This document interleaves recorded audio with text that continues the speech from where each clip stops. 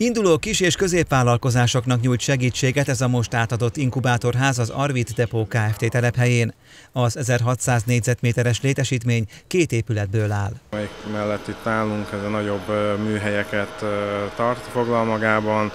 A másik épület az meg iroda épületeket, vagy irodákat, közös tárgyalókat, közös infrastruktúrát biztosító helyiségeket. Mindezt a piaci árnál kedvezőbb bérleti díjért kapják meg a betelepülők, akik közül a fejlődőképeseknek három-négy év után jó esélyük lesz arra, hogy önálló telephelyet létesítsenek. Egy családi közörös kisvállalkozás már ide költözött. Ők tehát az első fecskék, akiket még több mint egy tucat cég követhet.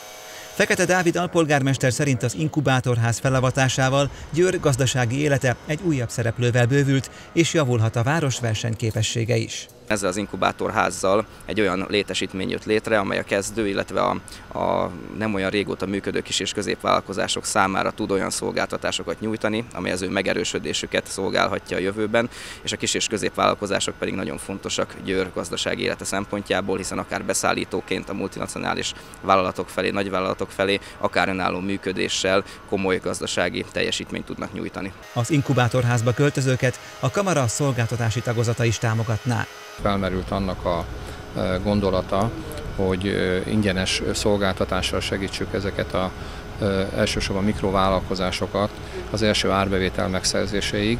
Ennek a felajánlásnak a részleteit még ki kell dolgoznunk. Az inkubátorház 169 millió forintból készült el, amelyből 118 millió forint támogatást az Európai Unió regionális fejlesztési alapja biztosított.